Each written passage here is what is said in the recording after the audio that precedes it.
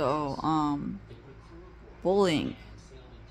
It's another um, kind of game that the aliens put an experiment on us. And so, as I said, um, what they do is they put these subjects under programs, and you know, it comes from their parents.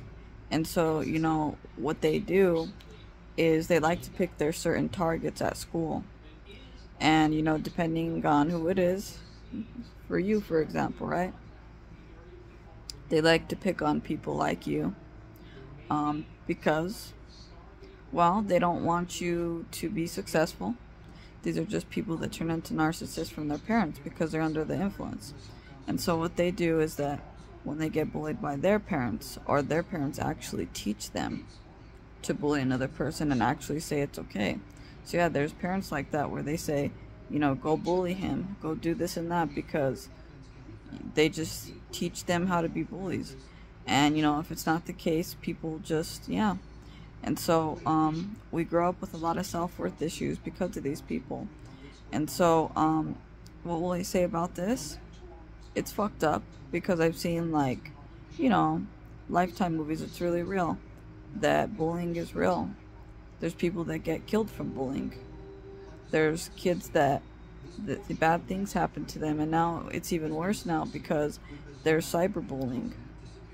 You know there's so much bullying that and you know that's why um lockdown this is karma okay? Another lockdown like covid and all this stuff this happened because these kids you need to pull them out of that fucking school and so these kids it, they're making them look at themselves so that way they don't find the fun to fucking bully other kids. You know? And so, um, that's why the lockdown happened, is because it's like trying to teach your fucking kids to take a look at how much of a fucking asshole you are. And so, you know, yes, these kids need to play and, you know, all this other shit, they need to interact. But at the same time, these kids need to fucking heal themselves and stop fucking projecting.